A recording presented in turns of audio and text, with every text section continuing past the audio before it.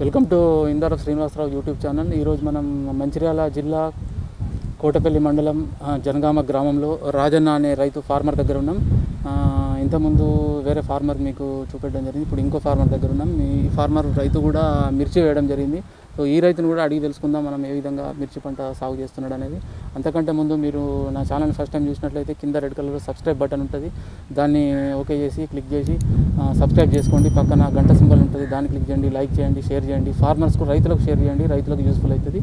So okay నమస్తే. ఎన్ని ఎకరాల్లో సాగు చేస్తున్నారు మిర్చి మీరు? నేను రెండున్నర ఎకరాలు. రెండున్నర ఎకరాలు. కౌలుకు పట్టిన రైతు కౌలు ఎంత? కౌలు ఎంత?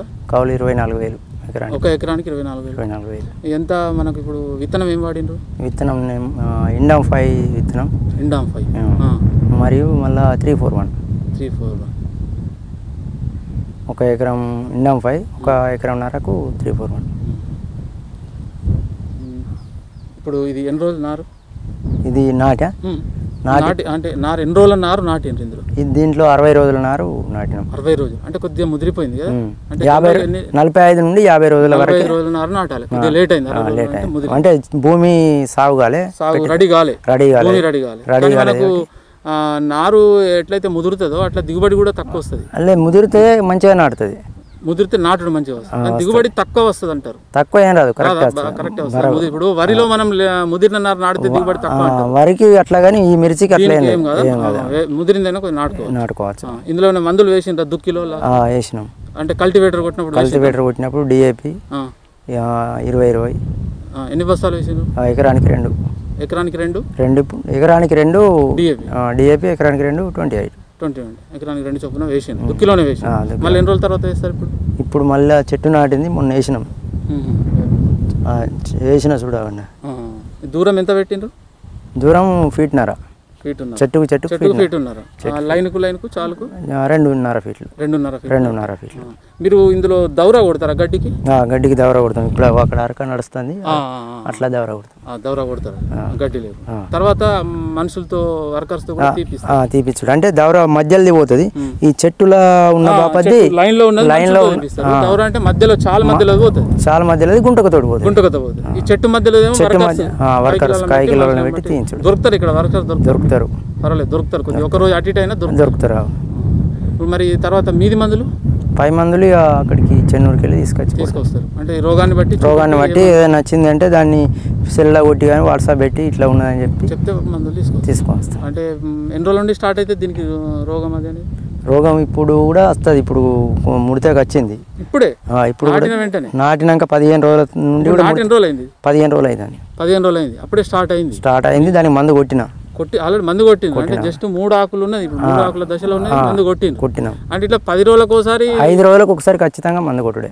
దీనికి ఐదు రోజులకు ఒకసారి మందు కొడుతూనే ఉండాలి ఏదో ఒకటి. ఐదు రోజులకు నాలుగు రోజులకు ఐదు రోజులకు పది రోజుల దాకా కొడితే మళ్ళీ తోట చేతికి రాదు. చేతికి రాదు. నెల రోజుల దాకా ఇక మళ్ళీ నెల రోజులు కంటిన్యూ దానికి తిప్పలు పడాలి. ఐదు పై మందులు బాగానే పది మందులు ఐదు రోజులు. ఎక్కువ ఎక్కువ అంటే వారం రోజుల కంటే ఎక్కువ దాటద్ది. అయితే మీరు ఫస్ట్ రెండు మూడు ఆకులు అంటే మనం నాటిన ఒక వారం రోజుల్లో వాటిని రోజులు నాటిన ఎనిమిది రోజులకు మందు కొట్టుడే. మందు కొట్టారు. ఈ మందు కొట్టే బదులు మీరు ఇంకో విధంగా కూడా వేప నూనె కొట్టుకోవాలి.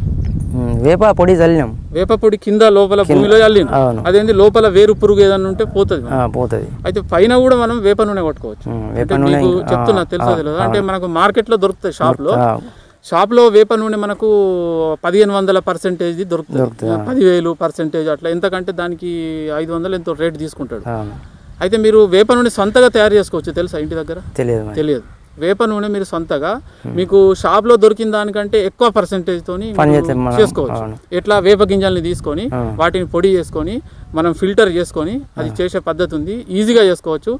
అది చేసుకుంటే మీకు పదిహేను వందలు పదివేలు ఐదు వేలు పదిహేను వందల పీపీఎం అంటే దాని పర్సెంటేజ్ దొరుకుతుంది. కానీ మీరు సొంతగా తయారు చేసుకున్న గింజలు ఎంత ఉంటుంది తెలుసా? యాభై వేల పీపీఎం ఉంటుంది. అక్కడ పదివేల గాఢత దాని పవర్ పదివేలు ఉంటే ఇక్కడ మనం సొంత యాభై వేలు యాభై వేలు ఉంటుంది మీరు సొంతగా ఫ్రీగా మీకు వేప చెట్లు ఉంటాయి ఫ్రీగా. మీరు తయారు చేసుకోవచ్చు ఇది మీరు ప్రయత్నం చేయండి. ఎందుకు చెప్తున్నా అంటే చాలా మంది రైతులు తెలియదు. కానీ ఏంటంటే ఈ వేప నూనెను మనం తయారు చేసి అమ్మవద్దు.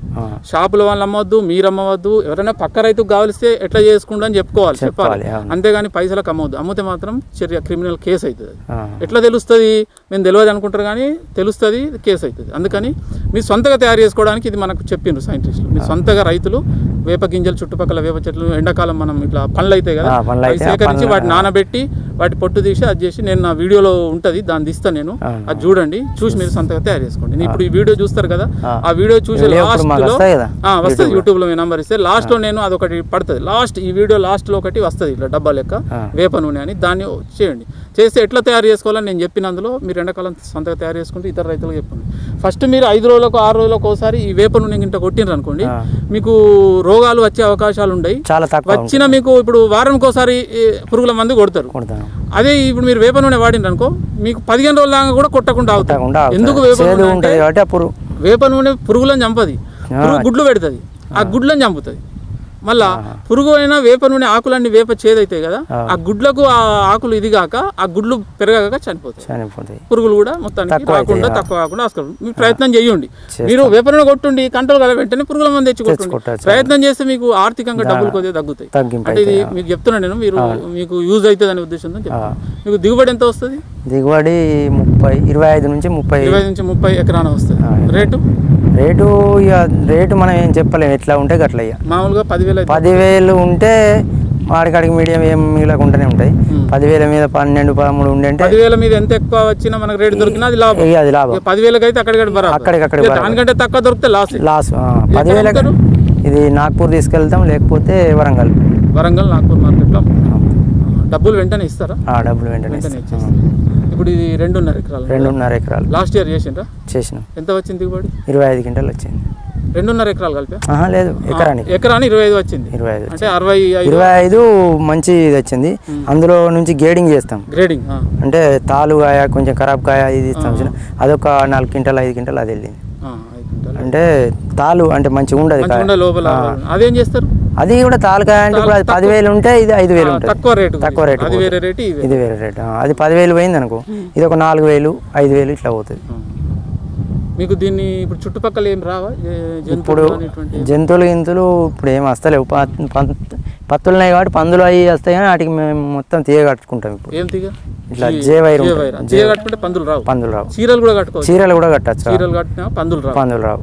ఇది ఎప్పుడు మీరు చేనుకు వచ్చి రెండు మూడు రోజులకు ఒకసారి చూస్తుంటారా? ఆ, రోజు ఖచ్చితంగా రోజు వస్తాం చేయని రోజు వస్తారు. ఏదో పది రోజులు ఎట్టన్నా పదిహేను రోజులు పోయి అట్లా అట్లా కుదరని తోట ఉంటే ఖచ్చితంగా మనం పోయినా కూడా మన ఇంట్లో ఎవరో ఒకళ్ళు వచ్చి చూడాలి లేకుంటే ఏదైనా రో ఏదైనా పురుగు తాకిడి రెండు మూడు రోజుల్లో చేను మొత్తం. చేను మొత్తం చేతికి రాకుండా పోతుంది. ఎకరానికి ఒక లక్ష యాభై లాస్ అవుతుంది. ఇది రెండో రెండో సంవత్సరం మీరు? నేనేమంటే ఇది ఐదో సంవత్సరం. ఆహా ఐదు సంవత్సరాల నుండి చేస్తున్నారు. చేస్తున్నా. ఈ మిర్చే? మిర్చి. మీకు ఏ సంవత్సరం అన్న లాస్ వచ్చిందా? ఒక సంవత్సరం ఫస్ట్ సంవత్సరం ఐదు సంవత్సరాల కంటే ఫస్ట్ మొదటి సంవత్సరం. ఎకరానికి లక్ష లాస్ వచ్చింది. అప్పుడు ఎంత పోయింది అంటే పన్నెండు వందలు పదిహేను వందల క్వింటల్ పోయింది. దిగుబడి వచ్చింది ముప్పై క్వింటాలు వెళ్ళింది. పన్నెండు వేల నుండి? పన్ పన్నెండు వందల? పన్నెండు వందలు పదిహేను వందలు మూడు వేలకు లాస్ట్ ఇక క్వింటాల్? క్వింటల్ క్వింటల్కు. క్వింటాల్ అంత తక్కువ ఎట్లా వస్తుంది? అట్లా తక్కువ పోయింది ఆ సంవత్సరం. బాగా లాస్ వచ్చింది. బాగా ఎకరానికి లక్ష లక్ష యాభై లాస్ వచ్చింది. మళ్ళీ రెండో సంవత్సరం ఎట్లా చేసిన రెండో సంవత్సరం కూడా మళ్ళీ వేసినాయి ఇక. భయపడకుండా వేసిన వేసినాం. అట్లా వేసడానికి ధైర్యం కావాలి. మేము డబ్బులు అటు ఇటు ఉన్నా కూడా సాగుకారిని కూడా ఇస్తా ఇయ్యడు కాబట్టి ముందుకు ఇస్తా అని చెప్పి చేసుకోవాలి. లేదు అని అంటే ఆ ఏడు పోయింది అట్లనే అయితే ఇప్పటి వరకు పోయిన సంవత్సరం ఒక ఎకరానికి లక్ష మిగిలినాయి కూడా. ఎకరాన లక్ష మిగిలిన ఆ, ఇప్పుడు మూడు లక్షలు. అంటే ఈ నాలుగు ఒక సంవత్సరం పోతే ఈ రెండు మూడేళ్ళల్లో రెండు మూడేళ్ళల్లో మళ్ళీ ఆడికాడికి కవర్ అయింది. కవర్ అయింది. లాభం ఉన్నది. మొత్తానికి ఒక సంవత్సరం లాస్ అయినా లాభం అయితే వస్తుంది. సరే ఇప్పుడు ఎవరైనా కొత్తగా రైతులు వేయాలనుకుంటే మిర్చి వేయాలనుకుంటే? ఇక మేము ఇదే చెప్తాం. ఏం చెప్తామంటే. కాకపోతే ఒక సంవత్సరం లాస్ అయిందని మరి వేయకుండా పోతే మాత్రం ఆ లాస్ ఎప్పటికి. ఇప్పటికి ఇక. మొత్తం అట్లే. అట్లనే ఉంటుంది. భయపడకుండా భయపడకుండా వేస్తేనే సరే. ఇక కొంచెం చిన్నగా డబ్బులు అంతమంది ఉండి. డబ్బులు పుట్టాయి. అట్లాంటి ఏం లేదు. దాని కిందకే మళ్ళా తేరేదాకా కైకి ఇక ఏం చేయలేడు మళ్ళీ చేస్తేనే ఈ దాని లాస్ అనేది కవర్ అయితే కూడా వచ్చే అవకాశాలు. ఉంటాయి. ఇక లేకుంటే అట్లా లాస్ అయింది అని సప్లేకుంటే ఇక కైకిలు పోతే ఒక ఐదేళ్ళు పదేళ్ళు ఓ సాగుకారికి పోవాలి. అట్లా చేయాలి. కానీ కొత్తగా చేసే వాళ్ళు ఎకరం రెండు ఎకరాలు కాకుండా. ఒక పది గుంటలు పెట్టచ్చు అట్లా అంటే ఏ రోగాలు వస్తాయి